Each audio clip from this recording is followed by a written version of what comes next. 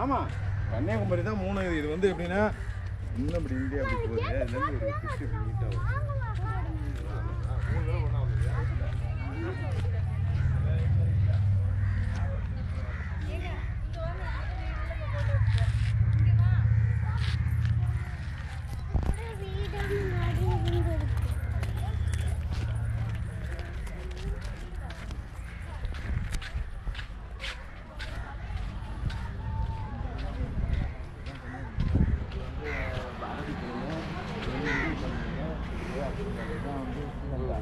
இதில் வந்து இப்படி வந்திருக்கோம் நம்ம.